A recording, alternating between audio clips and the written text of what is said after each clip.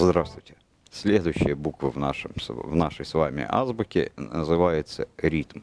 Что это такое? Это когда у нас в изображении три и больше похожих одинаковых объекта. И, вот это важно, промежутки между ними. Почему важны промежутки? Как только мы сомкнули два объекта вместе, не оставив между ними ничего, ничего другого, мы получим, из-за того, что камера-то одноглазая, мы получим что-то новое, мы получим другой совершенно объект. Вот посмотрите фотографии как раз по этой теме.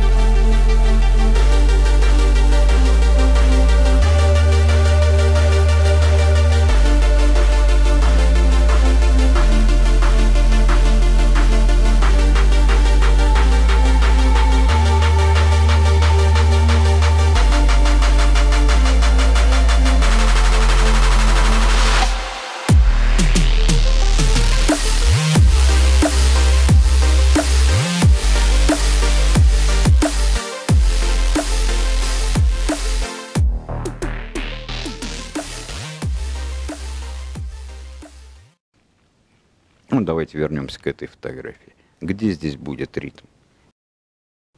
Ну, во-первых, это все те три кресла, которые мы видим. Во-вторых, подлокотники кресел. Их четыре, между ними есть промежуток. И видите, вот здесь за средним креслом стоит какая-то подставка. Вот эти вертикальные стойки будут задавать ритм. А в следующем кадре вообще весь кадр построен на ритме. Это камни, это столбы, это вот эти ограждения, столбики, это лампы, окна. Вот это все будет создавать ритм. Понятно? Попробуйте сами сделать кадр, построенный, а лучше даже не один, построенный на использовании ритма. Но только старайтесь не просто так фотографировать, а старайтесь фотографировать так, чтобы все-таки было приятно смотреть.